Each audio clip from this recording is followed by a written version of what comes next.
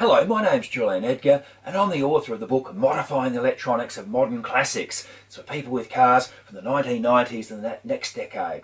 What I want to do in today's video is talk about using a programmable digital dash with a programmable engine management system. And I just want to show some of the advantages of linking those two systems together. So what I've done on the whiteboard is I've got a programmable management ECU, I've got a digital programmable dash, and I've got them linked by a CAN bus, Controller Area Network Bus.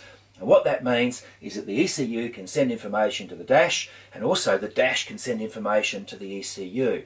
So why is that such a big advantage and why when you are selecting these components you should always make sure that they can work together, they can talk to each other.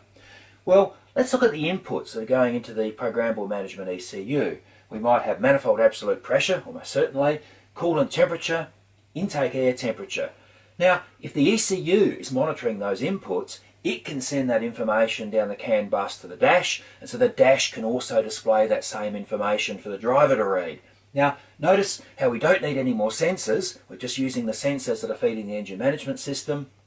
And critically, we don't need a whole lot of extra inputs in the dash because we're all sending it down that same information link, the CAN bus. But it gets even better than that.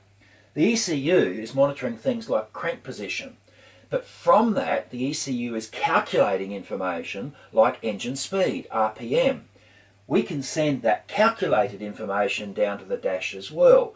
So we can see what the ECU is internally calculating and display that on a dash, as well as just having those basic sensor inputs. What else can the ECU be calculating that we can look at? Things like fuel economy. Instantaneous fuel economy, for example, is a calculation the ECU can perform and then send that information to the dash.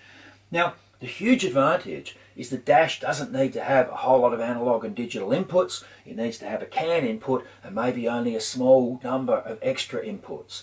What would those extra inputs be used for? Well, typically you'd run things like the fuel level. You'd run that input straight into the dash.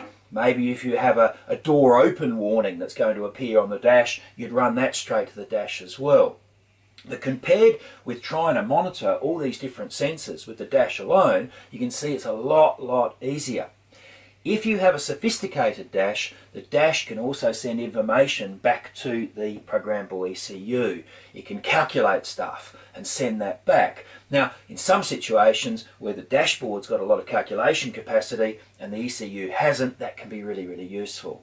The key is when you're selecting your programmable management ECU and when you're selecting your dash, think ahead and think of them working together as a system rather than two separate entities. Make sure they can communicate via a CAN network and make sure that can be a two-way passage of information and furthermore make sure that it has enough capacity to send all these different messages. You don't want it being able to send only coolant temperature and manifold pressure for example. You want to be able to send basically whatever information the ECU is coming up with so you can display it. When you are tuning, and especially if you are tuning your programmable management on the road, being able to set whatever you want to be sent to the dashboard is so useful. It might be uh, an auxiliary output duty cycle, so you can monitor uh, what your idle speed controller is doing on your dashboard as you drive along if you're tuning that area. It might be you want the ECU to send what the boost control solenoid is doing, what duty cycle the boost control solenoid is working at. So again, you can monitor how your mapping is going by watching just your dash and not also trying to watch a laptop at the same time. Having these two items working really closely together in a networked way, exchanging information is extremely powerful and it's worth going that extra yard in terms of expense or complexity to set up the system so that it can actually achieve that. It's all in the book. It's called Modifying the Electronics of Modern Classics and I think you'll find a lot in that book of great interest to you. Thank you.